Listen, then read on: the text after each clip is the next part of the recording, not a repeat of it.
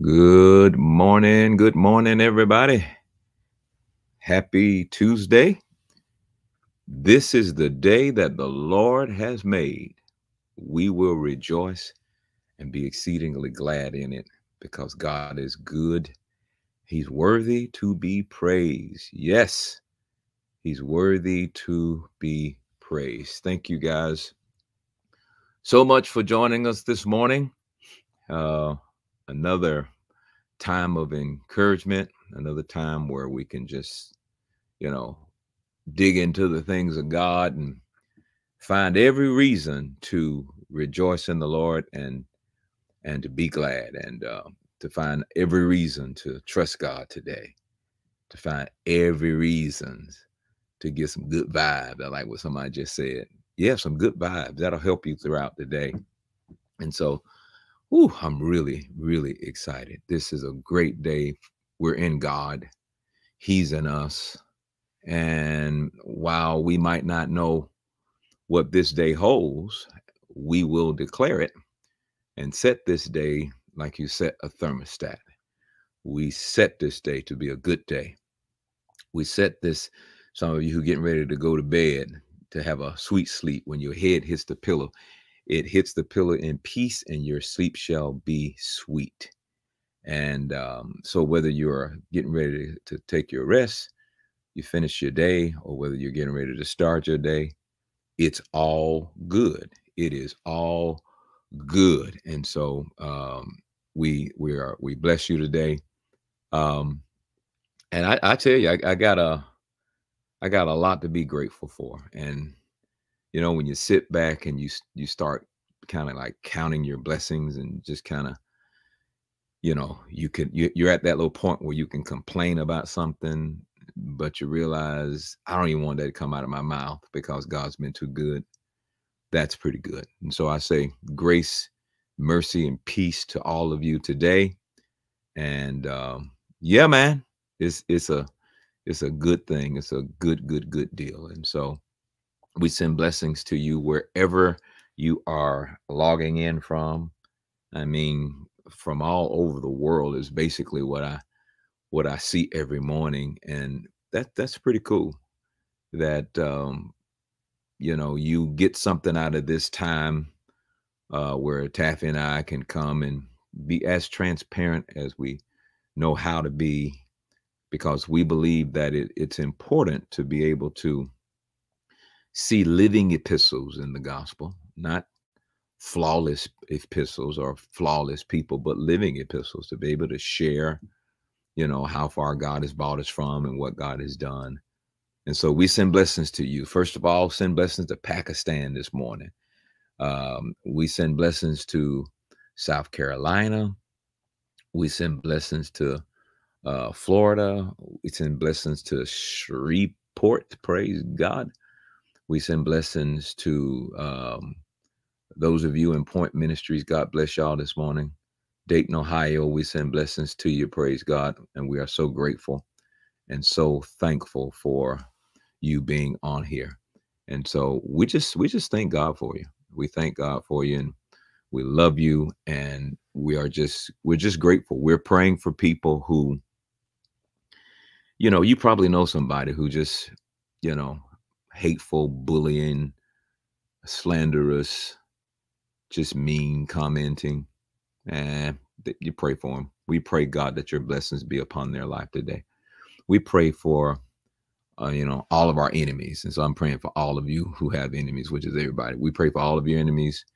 We pray for those who despitefully use you. We pray for uh, those who are enemies of the cross. We pray for uh, all of those. And, and we, through faith and the love that Jesus Christ, through the Holy Spirit, poured in our heart, we release that love right now.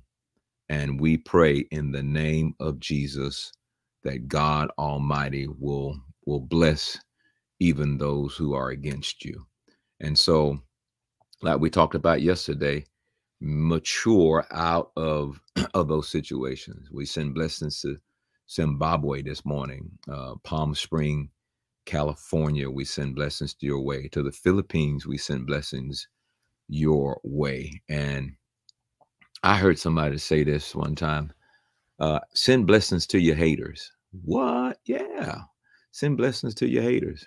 And so, you know, take the time out and and just make your mind up. I'm just I'm gonna I'm gonna just gonna be I'm gonna chill in Jesus today. I'm gonna find peace and calm and ease in knowing Jesus and knowing that Jesus loves me, knowing that um, you know he's with me, he's got my back. And that's why I continue to say that the word I believe for us to mature in is the word called intimacy. Uh, that that that's I believe is just just the thing we got to do. We've got to learn how to, you know, have an intimate relationship with Jesus Christ because I don't think anything else you can do. You can learn everything in the Bible. You can learn all the principles. You can all that, but there's a level of intimacy that you get by knowing Jesus Christ um, that really outweighs everything. Uh, and that's that's the difference between you know religion, self effort, um, rules and regulations that you try to keep. Uh, it's it's that intimate relationship with God, and God begins to lead you and guide you. He begins to show you things. He begins to show you things about yourself. He begins to show you things about Him and you establish this wonderful, intimate relationship with the Lord Jesus Christ. And so, uh, dwell on that word this Tuesday, all day today. Intimacy. Allow God to come into you and see. I mean, He already knows everything about you because the Bible says He weighs our hearts. But um, that's a that's a word that keeps coming up in my spirit. It's where where I begin to see my life genuinely begin to change is when I took the intimate relationship with God seriously. And it's that intimacy with God in my prayer time, the intimacy with God when I study, even the intimacy with God, like when I'm in a car driving home by myself, I'm just like talking to God, like, Lord, what do you think about this? Or, or, you know, what's awesome is sometimes he starts the conversation. Son, what do you think about this? Or son, I want to talk to you about, you know, this conversation you had today, or I want to talk to you about your attitude. That's that's awesome. That's awesome that God can just show up and start talking to you about stuff that you haven't even put into words. That's an intimate relationship. And he's always concerned about doing you good and making you happy. So God's not a God that's trying to condemn you. He says, I, I didn't come into the world to condemn the world, but that the world through him might be saved. Pastor Rick Layden, God bless you, sir. Love you. Um, and i'm just i'm just grateful for that time of intimacy that time of getting up and knowing him uh, knowing that you're delivered from performance you're delivered from um, you know trying to impress or the need to impress you're delivered from trying to be validated by other people. It's it's it's whenever things feel weird that's when you dive into that intimate relationship with him and you have a fellowship and a talk with him and he just kind of makes all of that stuff around you shrink. It seems so small. He takes a gigantic issue and turn it into a little pebble and that's the purpose of an intimate relationship with god not out to try to prove how important you are or not out trying to prove you know that you hang out with the big boys. Um it's it's just all about him. It's just all about him. It's it's like you you you hurt less, you're offended less um, when you have that intimate relationship with God because it's out of a heart of intimacy and affection that you do what you do for God. It's not out of um, fear, condemnation, obligation. You do it out of your heart. And I, I just, I, I mean, I know God, and and you know Him, and and you know that's that's how He would have it. He wants us to do what we do because we want to do what we do for him. And I think, you know, you know, when when people are having to do something for God, but they're not doing it from a willing mind and a willing heart, um, I, I, I, I just don't, I, I don't, I don't, I don't know about that. It's like, no, I want to do what I do for God uh, out of a willing heart. Intimacy, that's the word. I want to do what I do for God. And so think about that. Or have you gotten caught up into the rat race of trying to keep up with the Christian Joneses at church or Or do you do what you do because it's like this is between me and God? I'm not trying to do this for attention. I'm not trying to do this for an award. I'm not trying to do this for somebody to pat me on the back. I know him. I love him. I want to be with him. I want to talk with him. I want to please him. I want to walk right before him. Yeah, man. It, it's like, okay, so, you know, somebody says, well, how do you start that? It's real simple, man. Get somewhere quiet and start off by talking to God like you would talk to somebody that's on the earth and, you know, not quite, but you know what I mean, you know, and go to God and like, commit yourself to him to say, Lord, I, I, I need you. I mean, that's a great way to start. I mean, you know how big it is when a person finally comes to the end of themselves and they realize that all of the stuff they've done, all of the, um, you know, uh, self-help stuff that they've tried, and they finally go to God and say, I, I don't want to do nothing without you. I, um, I need you. Help me, Lord. Man, that's a powerful, powerful thing. And what becomes so convincing is when he helps you, you'll never forget. I asked the Lord to help me, and he did. And things turned out to be better. I asked the Lord to help me, and he showed up. I know that there's no other uh, explanation for why things appear to be better than the fact that I decided to step away from the rat race of needing validation from other people or trying to show people how spiritual I was. And I just decided to just go before God and say, Lord, I need you. And then he shows up. And now you got this one-on-one for sure relationship with God. Um, man, that's that's pretty strong. And that's what I'm really trying to get people to see that God is not this tyrant sitting on the throne threatening you that if you don't do this or do that, I'm gonna get you. That's not what it is. About about the time the Holy Spirit finishes with us, dude, he's gonna be working in us desires to want to do what pleases him. And that's what this is about, man. I, that's why I'm I'm really at peace. I'm I, all I can do is share with you. All I can do is teach you the word. All I can do is do that. I can't make you do nothing because you're a free moral agent.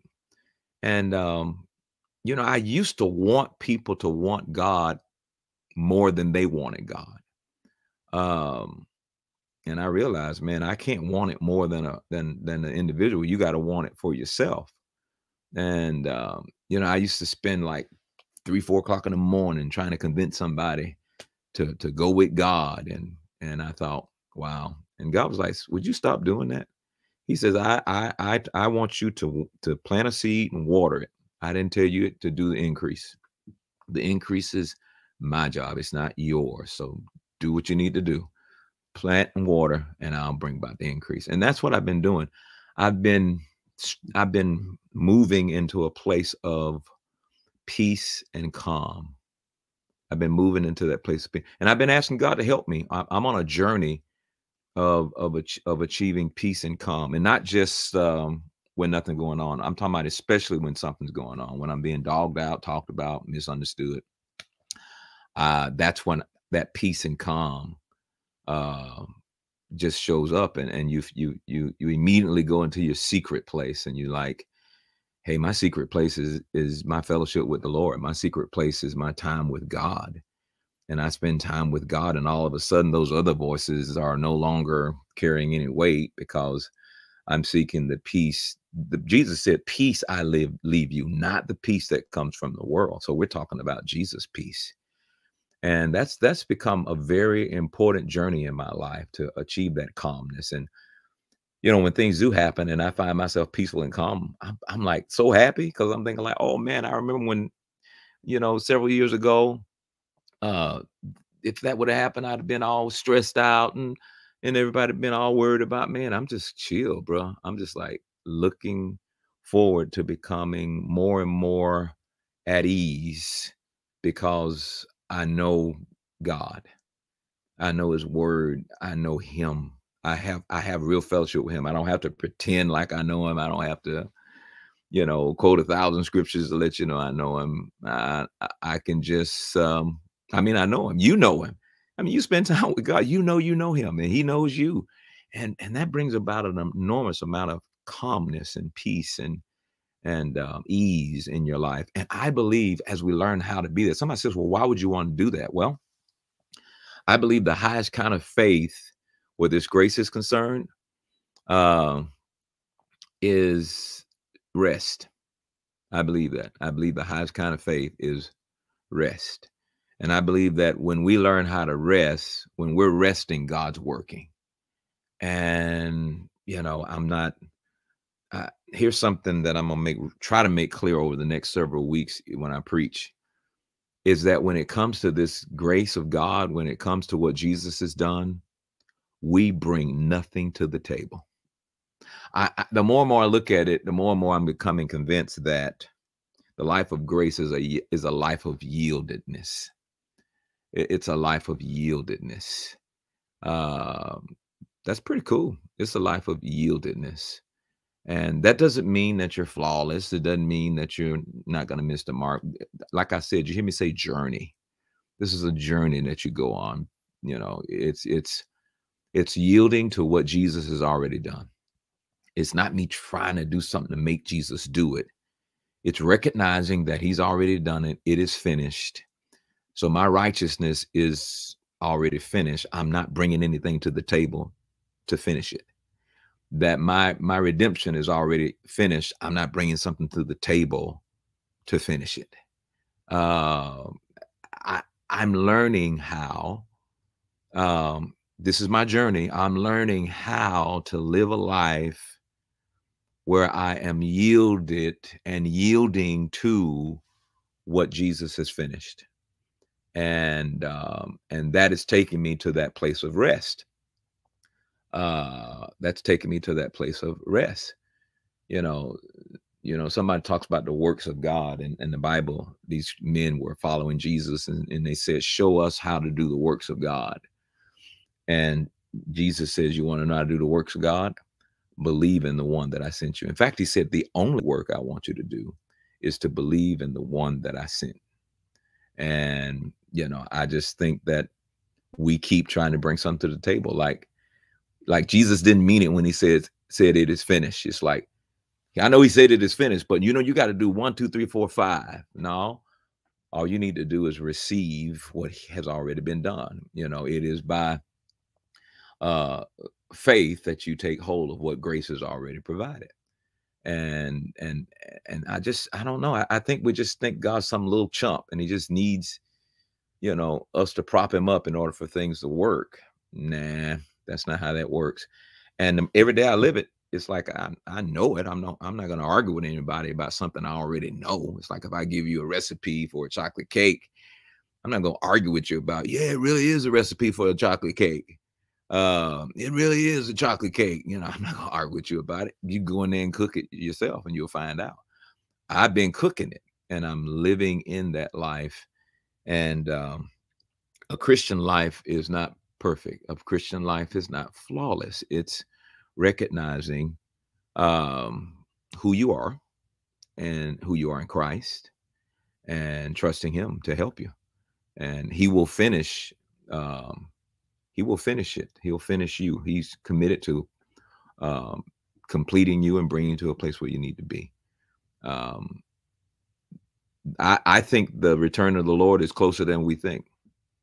Uh, I do. I really do. I think the return of the Lord is closer than what we think. Um, if you look at what's going on in the world, you see earthquakes, you see fires, you see hurricanes, you see tornadoes, you see all the things I taught about earlier this year. Um, uh, I tell you what, it's going to be an amazing time when Jesus comes. It's going to be amazing time. See, Jesus did the work. We should rest in the work. Don't compare Jesus with you. You, you know, Jesus did the work. And so we rest in that work. Let me show you how that works. It's called spiritual warfare. What is spiritual warfare? Does, it mean fighting to try to get something Jesus has already gotten? No.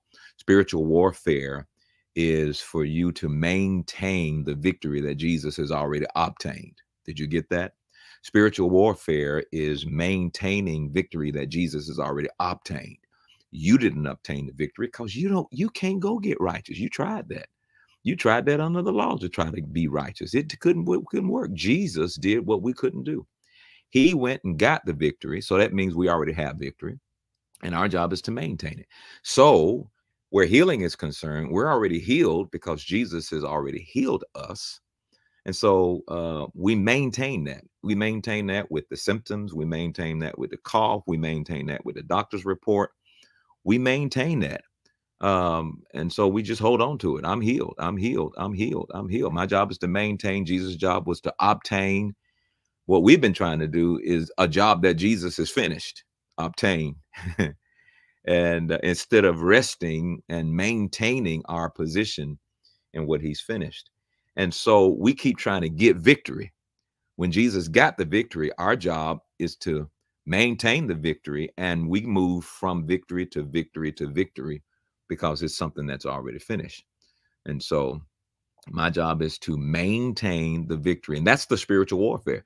It's Satan trying to knock you off of what you are maintaining. Is Satan trying to get you to the point where you just, he's trying his best to get you to be afraid that what God finished won't come to pass. He's trying to get you to be afraid that what God has concluded won't come to pass. And so, you know, uh, you know, you have to, I see this comment, you you have to remember that you've got to agree with the Lord Jesus Christ. I mean, it's like that's part of the manifestation coming in your life. You you are you have, instead of saying I'm not healed, you got to agree with him. I mean, you got to agree with what he did on that cross. That's what faith is.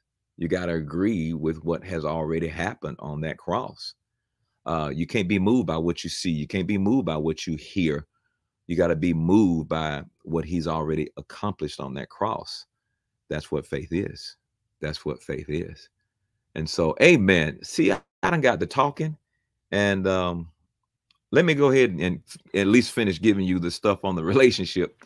And then, you know, we can continue to, to talk. I, I I guess I'm I guess I feel you this morning. And I guess that's what I'm I've been praying for. Let me Lord, get in, get on my tongue and let me speak things to people I can't see. I don't know where they are. They're all over the world. Let let me say something that that uh, makes them think I was just right there in the house listening to what was going on, and that they can receive it and that their lives can prosper today to do what needs to be done. And I, have to trust in God when I come online with you guys. What am I going to talk about today? Uh, I mean, after doing this for over two years, what am I going to talk about today? You know, I thought, well, you know, once pandemic was over, I just kind of quit. I don't want to. I, I, love this. Is awesome. This is amazing. Praise God. And uh, I just believe the Holy Spirit is working in you, and uh, there's just some great things gonna happen. And and I I declare you're healed in Jesus' name. I declare your your your brokenness. Jesus died for your brokenness. So don't declare I'm broke but broken, declare that I'm whole. Start declaring that I'm whole and that all is well with you right now. Uh, and I agree with you. I'm lost without Jesus too, for real, man. I'm really lost without Jesus. So I don't want to be without him because I don't want to be lost. So I'm going to keep him. He's he's cool. I love him. I'm not going to let him go. Nobody can talk me out of that. I mean, can't talk me out of Jesus. I already know he's real. I've experienced him every day. I walk with him every day. I know him, he knows me. So see, when it's a religious game and you don't know him and there's no intimacy, somebody might be able to talk you out of it. But when you know him and and you speak to him and he speaks to you and y'all got that kind of relationship, can nobody talk you out of that? Ain't no use in them trying. You just look at him like, yeah, whatever, man, you know. And you just go on because it's like, man, I ain't hearing that. I mean, you know, I ain't rocking with that at all. Uh, amen. All right. Uh so we talked about uh, seven actions um, to building better relationships and how to restore relationship. And the first thing we talked about was love, how love is a starting point. And it's so important because many problems in conflicted relationships um, involve power struggles and people feeling excluded and the absence of brotherly affection. So you fix these problems by expressing um, the power of love. And so that's important. Where is that love? Where is that love? Number two, encouragement. I think I told you that a major problem that retards relationships is criticism. And positive encouragement will always, always be better than negative criticism. And then what happens is when you're so critical like that, you might you might want to ask yourself, why am I so critical? Why am I so critical? Make people feel important. Encouragement is is, is awesome.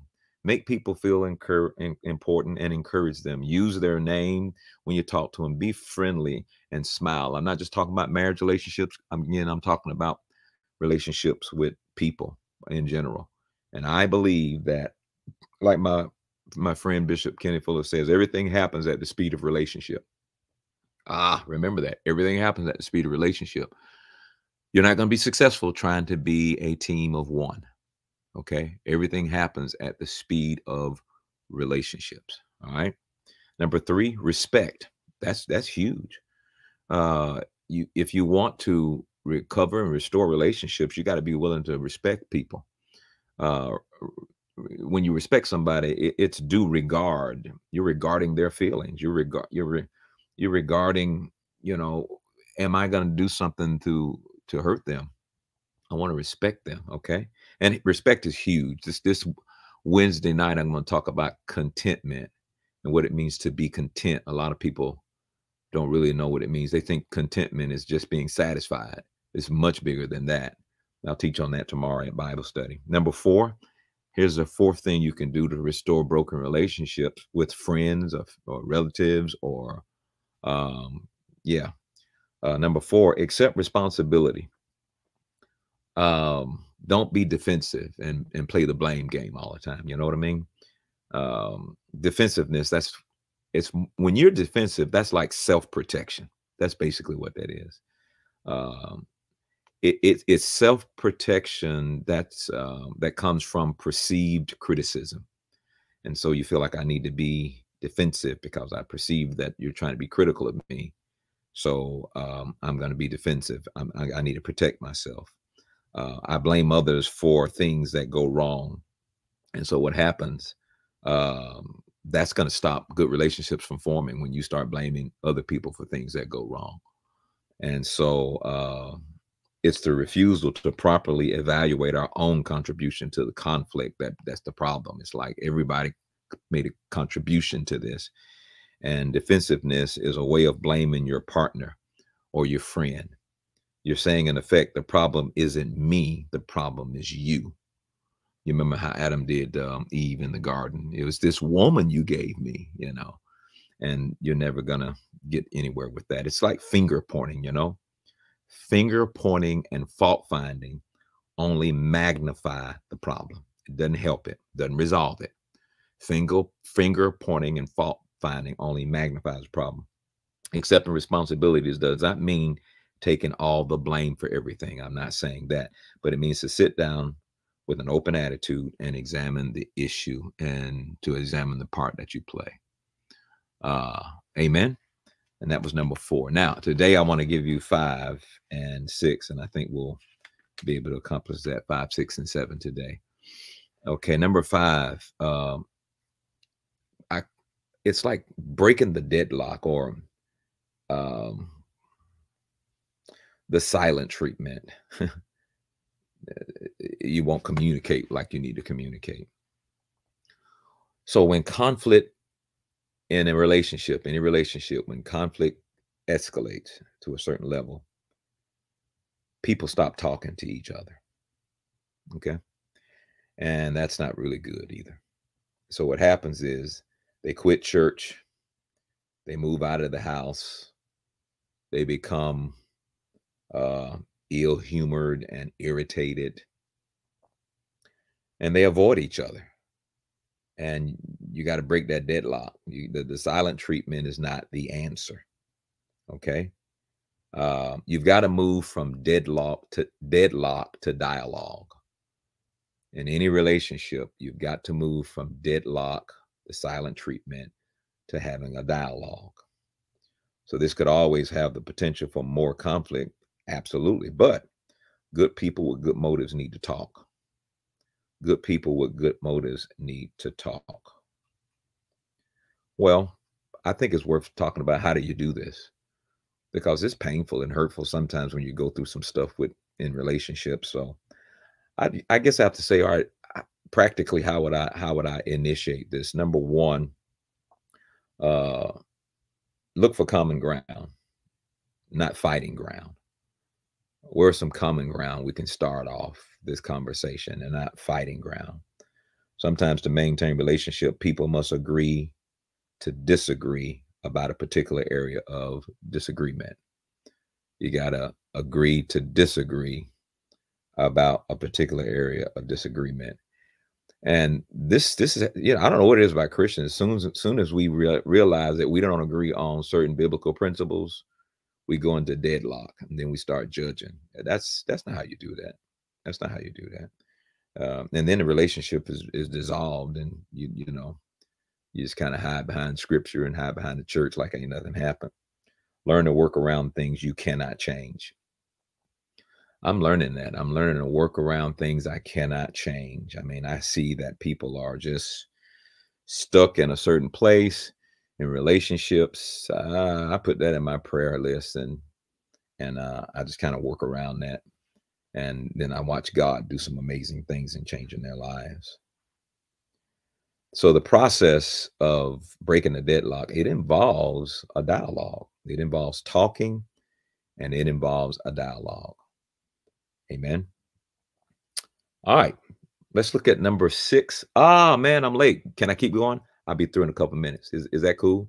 Let me know. Let me know. If not, I'll log off right now. I had no idea we were like kind of out of time. Can I have like five minutes? Five minutes, five minutes, five minutes, five minutes. Going once, going twice. All right. Nobody wants me going, so I guess I'll stop right now. Um. Anyway. Uh. Well, one person says yes, you can. Uh, okay, I just got two more to give you. You want me to give them to you? Ha ha ha ha. It's cool. Please stay. no, that's good. All right, number six, manage emotions. Now, emotions are feelings on the inside. And God gave us those emotions, but He never wants those emotions to uh, govern our lives. So you got to manage your emotions. And the only way I know of to manage your emotions is you got to manage what you're thinking. You know, um, first you have influences, and then those influences determine how you think, and then your thinking determines how you feel. So if you're gonna if you're gonna manage your emotions, negative emotions, you're gonna have to manage what you're thinking. You're gonna have to manage what you're what you're thinking. Okay. Uh, and then number seven, prayer it helps in building relationships. And you guys know what I'm saying. I mean, some things it just seemed like this was doomed. I mean, some of you know what it feels like to be on your way to divorce court and started praying, and God just canceled the whole thing. Uh, let me say this: I saw something. Somebody says it's difficult to manage your thinking. Just because something is hard doesn't mean you don't do it something being difficult cannot be the excuse for you not doing it. Um, if it was easy, everybody would have some. If it was easy, everybody would have success. Uh, being difficult, being hard should not be an excuse to not initiate what you know is necessary to get the results. I used to always tell uh, my kids that an excuse is nothing but nails used to build houses of failure. And you can make an excuse or you can make a way. And i'm sure there are some painful hurtful things but um you know you you've got to to do that you know. Well it's it's hard to get up to pray. It's hard to read the bible. It's you can do that with anything and so you have to understand that you change the way you think by changing what you're exposing yourself to. So if it's hard to manage your thinking it's probably just you hanging around the wrong stuff. You know what what what's influencing you? I mean there's some things that are influencing the, what you hear and and what you're seeing and, and what you're talking about those conversations you engage in all that stuff determines the way you think so if you want to change the way you think you got to change those influences that you are around far too much and then those influences that you're around far too much well, now, you know, you you adjust and and start hanging around good influences. Those good influences will change the way you think. Okay. So the way you think just doesn't come from nowhere. The way you think is a result of what you're hanging around and what you're listening to and what you're involved in. And so if the way you think is being infected, then you are hanging around something that's infecting you. And so uh, yeah, man, this is uh this is something that's so, so, so, so very important. All right, there you have it. Maybe we'll talk that in detail. So tomorrow I'm going to talk about contentment and um, start a little series on that because I the Bible says that godliness uh, with contentment equals great gain. And I just believe that Christian people should understand contentment and what that means. Have an amazing Tuesday. I know you will. I love you guys so much. See you from the pulpit of World Changers tomorrow. Have a great day. God bless you.